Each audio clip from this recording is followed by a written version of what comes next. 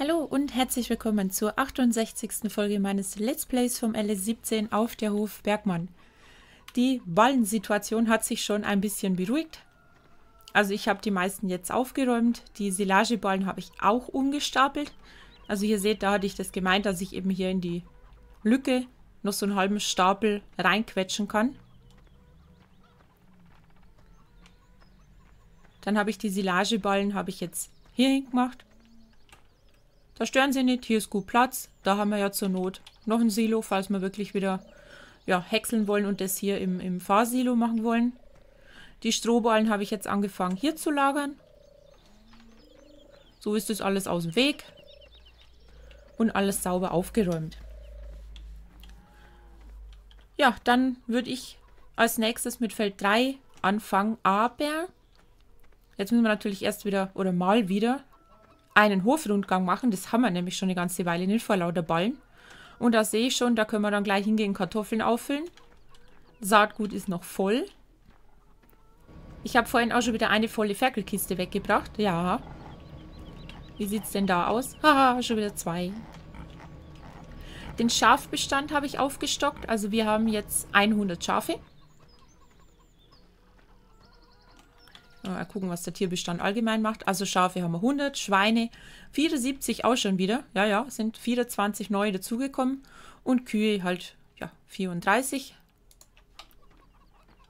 Aber das ist auch völlig okay. Weil ich bin eben immer noch nicht dazu ähm, ja, Milch zu verkaufen. Aber das können wir auch gleich noch machen. Also keine Angst, heute gibt es kein Feld 3. Ja, hier sind die Ferkelchens. Hört ihr es, wie sie sich freuen? Ja, ja, ja. Und da ist noch jede Menge Platz für weitere Kisten. Ihr seht, ich habe ja hier auch noch einen schönen großen Garten. Ja, ja, ja, ja. M. Uschi, du lässt aber die Pfoten von die Ferkel, gell? Tu mir die ja nicht ärgern. Ja, das wäre dann der Plan. Also würde ich sagen, erstmal schnell da die Kartoffeln auffüllen.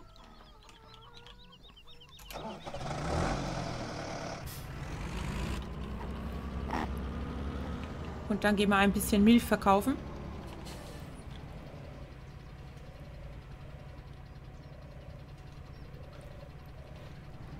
Ich hatte da auch so einen tollen Plan, äh, so eine neue Geschäftsidee mit meiner Seife, mit der Einhornseife. Ich habe mir gedacht, vielleicht könnte man das, ähm, ja, könnte man da auch noch quasi so eine, so eine Waschpaste herstellen. Und die dann ein bisschen mit Glitzer versehen. Stellt euch mal vor, wie toll das aussehen wird, ja. So auf die, auf die Baustellen und in, in Werkstätten und überall, da würde es nur noch glitzern und funkeln. Genau, das wird Snooze Plan. Snooze Beitrag zu einer besseren Welt. Glitzerseifen.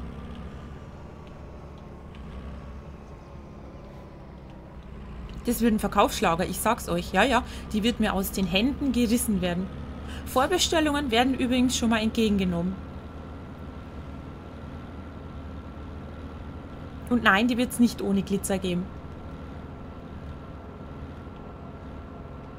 Bis jetzt sind eben nur diese zwei Variationen geplant, also Seife am Stück mit Glitzer und ja, so eine Waschpaste mit Glitzer. Könnte man eigentlich doch auch in so eine schöne regenbogenfarbige Dose machen und schön mit Einhörner bedrucken. Das erhöht der Preis natürlich wieder enorm. Das ist ja auch eine unglaubliche Wertsteigerung. Meiner Meinung nach.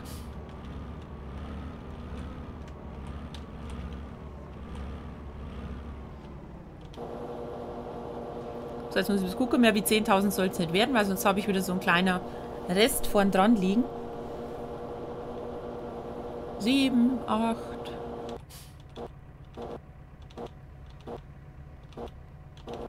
Aha, nein, jetzt lasse ich's. Das reicht.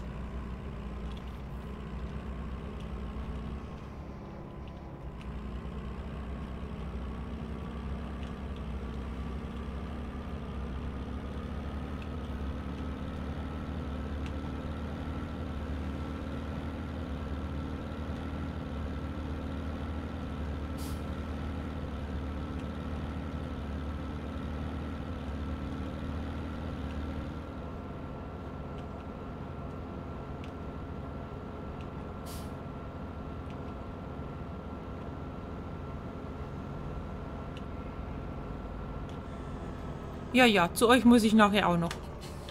Die Schäflein warten schon. Durch das, dass ich jetzt den Bestand so erhöht habe, also er hat sich ja quasi verdoppelt, fehlt jetzt natürlich Gras und Wasser. Aber eins nach dem anderen. Jetzt ist dann definitiv mal die Milch dran.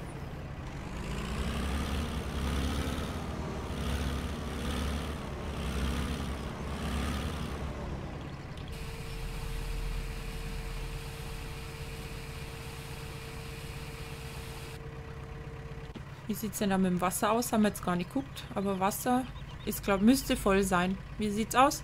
Ja, ja, ja. Wunderbar. Hier kann es auch wieder weitergehen. So.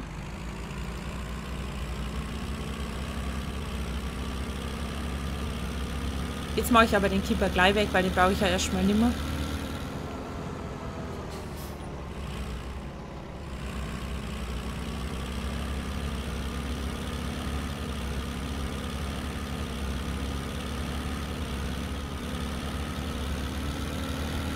Ballenpresse habe ich auch schon mal jetzt auf Feld 3 bereitgestellt.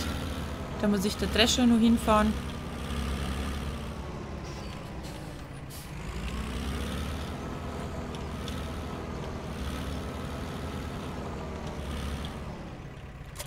So.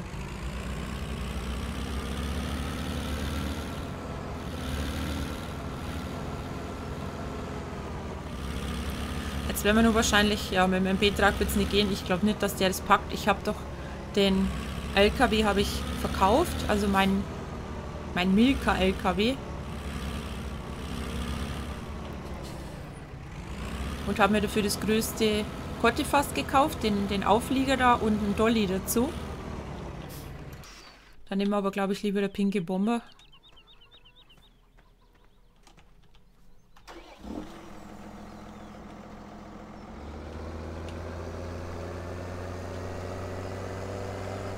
Und ich hoffe, es steht jetzt darum, wo ich vermute, dass es rumsteht.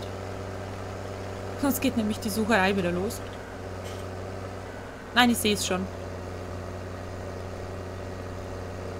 Ich sehe es lila leuchten am Horizont.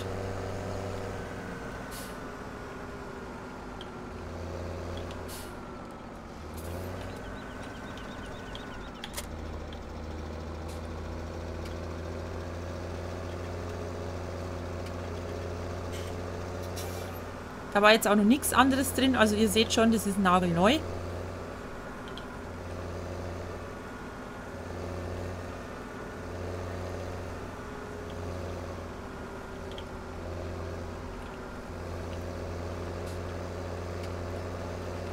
Ah, wer hat denn dabei die Kühe schon wieder auflassen?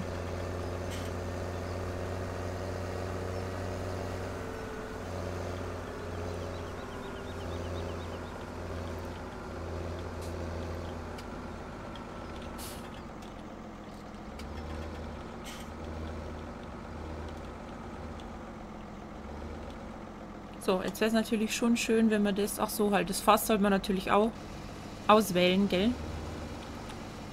Sonst ist es halt schlecht mit Auffüllen. So, während das Fass auffüllt, können wir jetzt aber schon mal hingehen. Weil ich habe ja gesagt, ich möchte ähm, jetzt mit Flüssigdünger spritzen. So, hopp.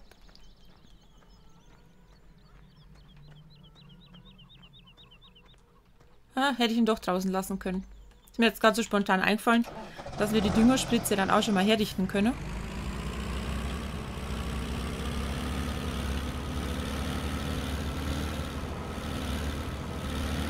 Und dann können wir auch gleich mal gucken, ob wir die an unserem Lagertank hier auffüllen können. Ich hoffe doch, dass ich dafür jetzt nichts überladen muss. Mein Gott, habe ich überhaupt eine gekauft? Ich glaube, ich habe gar keine gekauft. Meine Herren.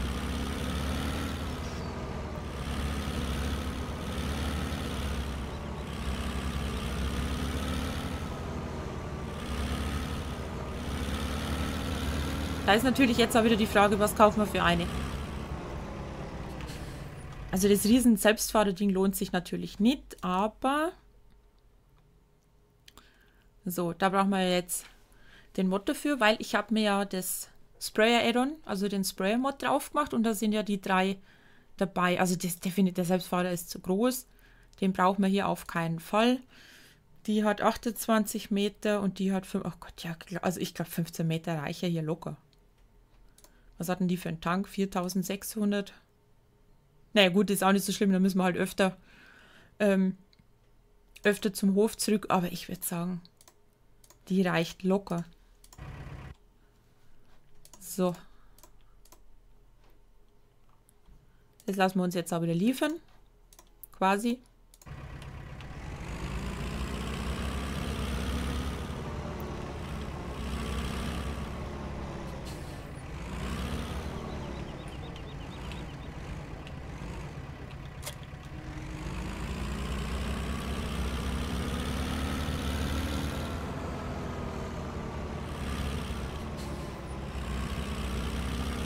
So, und dann gucken wir jetzt mal, ob wir sie da, da auffüllen können oder ob ich die irgendwie ja, überladen muss mit einem Fass oder sowas.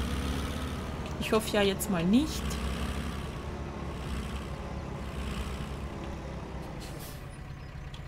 Nein, die können wir hier auffüllen. Das ist schön. Gut. Das passt schon mal.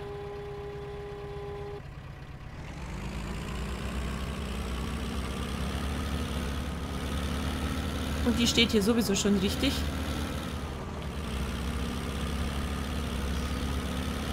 Können wir nämlich gleich hier auf die oberen Felder anfangen. Aber, wie gesagt, zuerst die Milch. Molkerei sollte ja schon offen haben um die Uhrzeit. Ja, kurz nach neun. Das ist jetzt auch wieder Wahnsinnsfarbkombination, gell?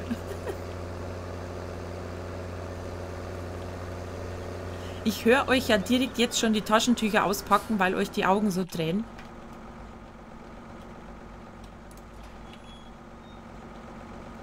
Aber ich kann euch jetzt schon sagen, das lässt auch mit der Zeit. Ihr gewöhnt euch daran.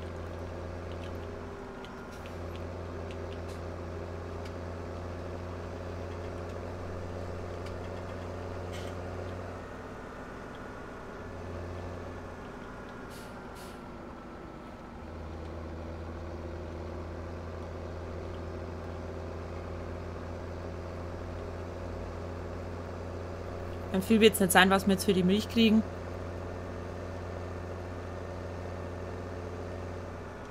Ach so, ich hätte ja mehr gekriegt. Moment. Ach, wobei, das dauert auch wieder so lang, gell? Hm? Ich hätte es jetzt mit dem Fliegel abfüllen können. Ne, Moment mal, das habe ich schon mal gemacht. Das lohnt sich nicht. Ne, passt schon. Ich hatte es schon richtig im Kopf, das rentiert sich nicht.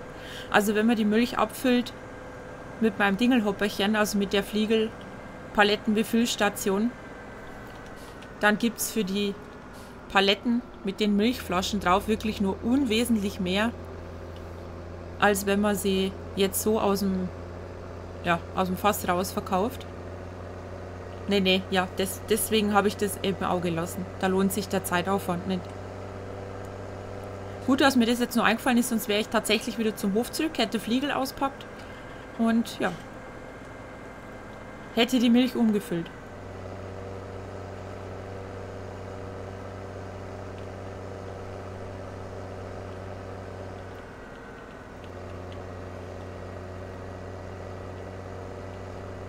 Ich meine, ich habe das auch in einem, das war glaube ich in einem, in einem Livestream,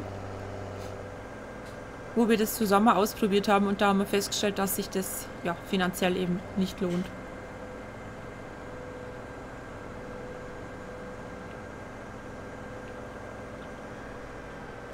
Oh, oha. Vielleicht nicht gar so schnell machen mit meinen 30.000 Liter Milch. Tja, der Viehhändler. Ja, jetzt wo ich schon mal da bin, habe ich doch tatsächlich nochmal eine Anfrage von dem gekriegt. Fasst man das? Fasst man das? Ist doch nicht zu fassen. Ich sag doch, die Leute akzeptieren kein Nein. Unglaublich. Was haben wir überhaupt für Abkippseite? Waren wir hinten? Jawohl. Rohmilchannahme. Genau, da wollen wir hin.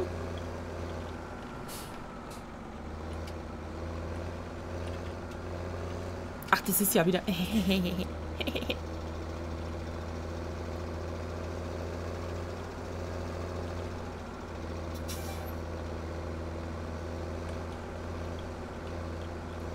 Jetzt sag einfach, du kannst schon hier verkaufen. Na, geht doch.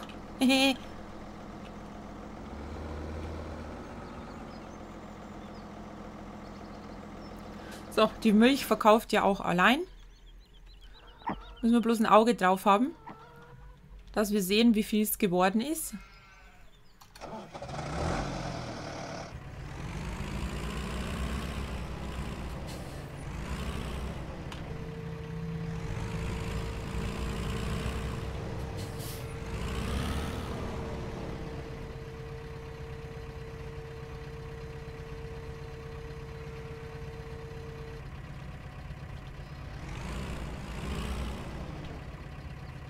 Ich warte jetzt noch. Oder? Ja, ich kann ja schon mal hier das Dings da aufmachen.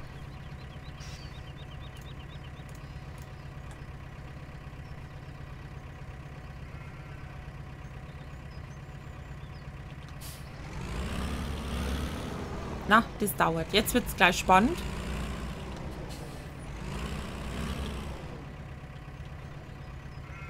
Das könnte jetzt eigentlich so die ganze Zeit weitergehen, oder? Wäre auch nicht schlecht. Also ich fände es gut. Immer schön nach oben.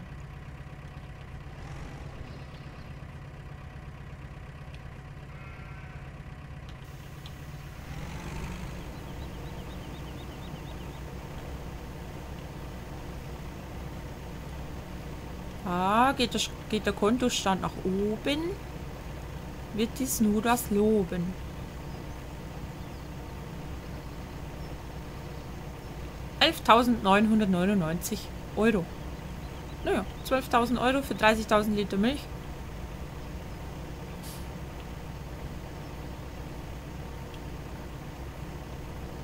Und da kann ich noch ein paar Mal fahren.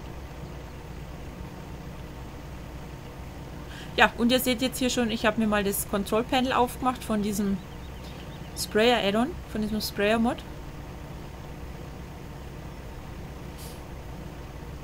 Und ich stelle mir das einfach jetzt hier, oder habe es mir auf Automatik gestellt. Da kann ich nämlich hier jetzt rumkurven in der Gegend, wie ich lustig bin. So. Das macht er nämlich selber aus. Wenn ich hier wieder so meinen Stiefel zusammenfahre. Und da brauche ich jetzt auch gar nicht mehr großartig rumrangieren. Wieso kippelt denn der so? Ist der vielleicht ein bisschen zu schwer für den MB-Truck?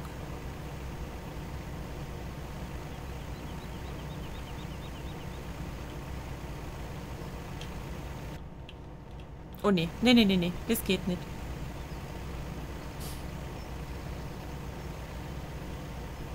Und bevor ich mir jetzt da, bevor ich jetzt da rumtue mit, mit, mit GPS für das winzig kleine Feld.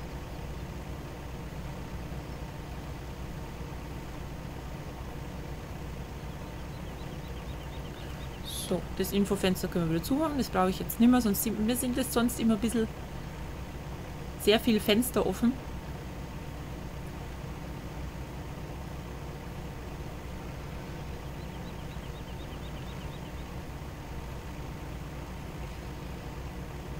Können wir nämlich da auch wieder.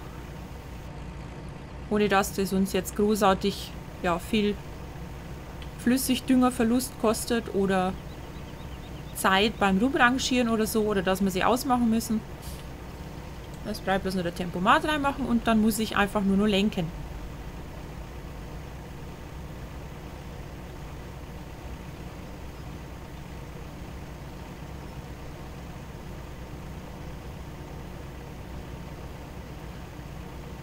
Eigentlich müsste er ja jetzt hier das schon gedüngte... Ja.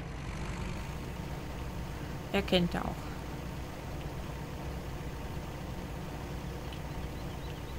Ich finde den... Also den Mod finde ich richtig gut. Bin ich absolut begeistert davon.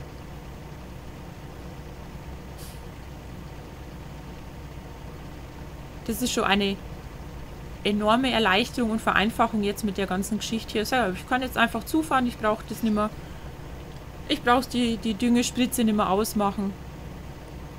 Brauche auch nicht rumrangieren, da fahre ich nämlich jetzt einfach nur bis dahin. So, dann fahre ich zurück und dann macht er das selber aus.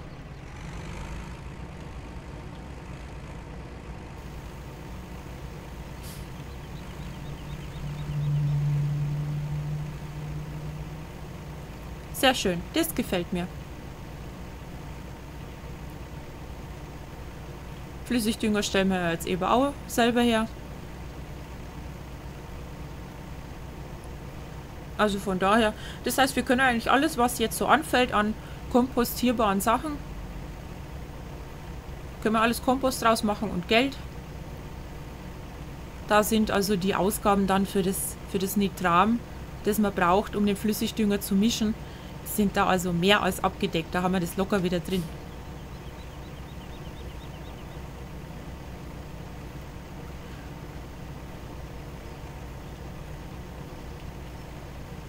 Ja, und dann würde ich sagen, komme ich für diese Folge zum Ende. Ich hoffe, es hat euch Spaß gemacht. Ich bedanke mich fürs Zusehen, würde mich natürlich freuen, wenn ihr auch das nächste Mal wieder mit dabei seid. Ich wünsche euch bis dahin, wie immer, eine gute Zeit und sage Tschüss.